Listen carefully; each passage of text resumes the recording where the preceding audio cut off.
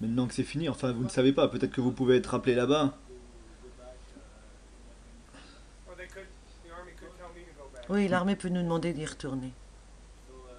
Mais euh, vous ne parlez toujours pas de ça avec votre femme. Non, de mon armée passée, non, non. euh, J'ai laissé ces expériences de côté, euh, c'est fini. je pense qu'un jour, euh, elle aimera savoir, mais elle, est- contente que je sois vivant et de retour. Elle n'a pas forcément besoin de savoir. Et parlez-vous de cela entre, amis? Oui, oui, oui, on parle euh, de ça avec les amis qui étaient avec nous, qui partagent la même expérience, parce qu'on se comprend bien. Les personnes qui ne sont pas parties ne peuvent pas nous aider, ils ne peuvent pas comprendre. Ils peuvent pas, c'est pas de leur faute, mais ils ne peuvent pas.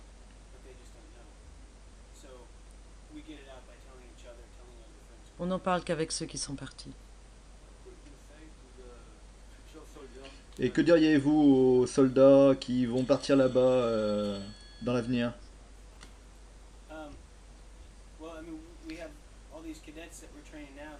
Ouais, J'ai j'ai des étudiants, nous avons des étudiants qu'on entraîne qui partiront sûrement. Et tout ce que je peux leur dire, c'est merci d'être volontaire. Ils, ils doivent être préparés le, le mieux qu'on peut, parce qu'ils vont être des officiers, donc ils seront responsables de soldats, et ils doivent savoir que c'est une grosse responsabilité. Leur travail principal sera de prendre soin de leurs soldats. J'imagine que je leur dirais juste euh, de prendre de bonnes décisions, de penser avant d'agir, parce que ce sont des officiers, c'est pas seulement euh, juste pour eux, mais c'est aussi pour leurs soldats. Ils peuvent avoir 40 personnes sous leur responsabilité.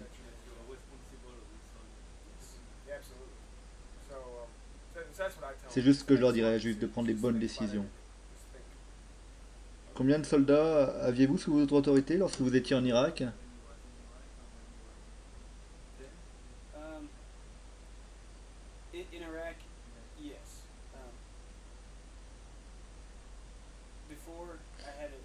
Au début, j'avais 10 soldats, et ensuite, quand je suis devenu officier, 40.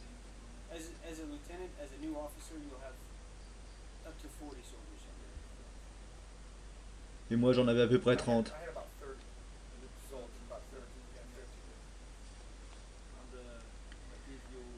Et comment faisiez-vous pour euh, garder vos soldats prêts à combattre, courageux.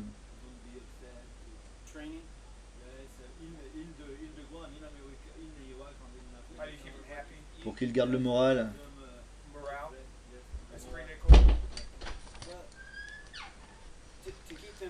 Pour les euh, garder motivés, courageux et capables de faire leur mission, il fallait qu'ils sachent ce qu'on attendait d'eux, ce qu'ils avaient à faire. S'ils se sentaient pas confortables par rapport, euh, sereins par rapport à ce qu'ils avaient à faire, ça se passait bien. Je devais donc m'assurer qu'ils aient le meilleur entraînement possible. Moi je dirais juste à mes gars, hé les gars, euh, regardez vous avez euh, une belle fiancée au pays, euh, une bonne place pour dormir, vous avez toute la nourriture dont vous avez besoin, vous avez le câble, le téléphone. Vous savez, euh, travaillez dur euh, pour la- pour l'année que vous devez passer ici autant que vous le pouvez euh, et euh, restez relax. Quel était le plus difficile dans votre travail là-bas?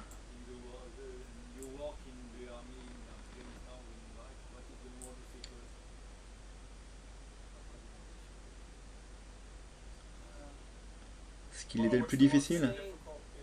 Restez concentré. Parce que quand tu es là depuis un an, tu commences à avoir l'habitude de ce que tu vois et euh, tu deviens plus complaisant. Et t'arrêtes de te concentrer sur ce que tu es supposé faire. Je dis pas que tu deviens euh, paresseux, mais tu deviens fatigué. Il faut donc rester très concentré sur ce qu'on a à faire là-bas.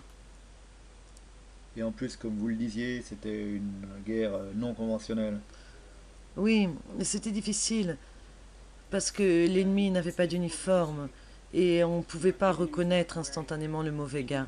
Ça pouvait être n'importe qui.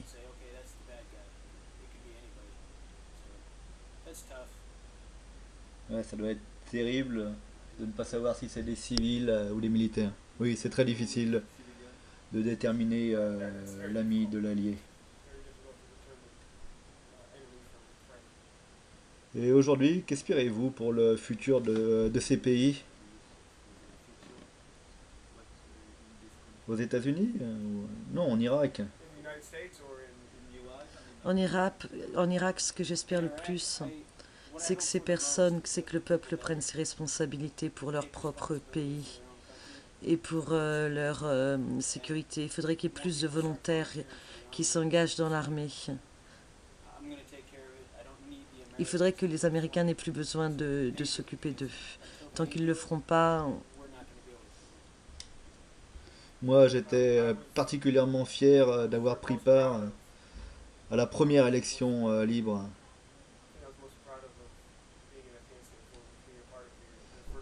L'élection nationale en Afghanistan. C'était en 2005. Um, that was in 2005. They've never had an election. Ils n'en avaient pas eu depuis peut-être des centaines d'années. Ils ont élu leur président Hamid Karzai. Et j'espère que ce gars va réussir. I helped make that a success. Um, Je ne veux pas savoir si son gouvernement est religieux ou s'il est démocratique. euh, Mais j'espère que la République islamique d'Afghanistan euh, sera restée stable, démocratique.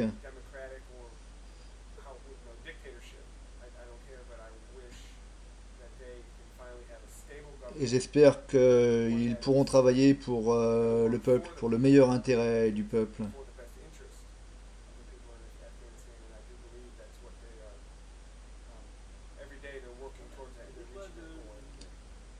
Était-ce une intéressante expérience au niveau du salaire?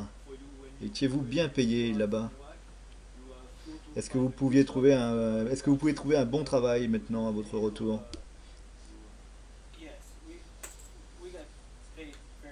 Oui, oui, oui, le gouvernement prend soin de nous.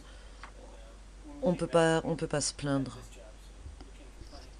Moi non plus, je n'ai pas de plainte à avoir à propos de, la paye.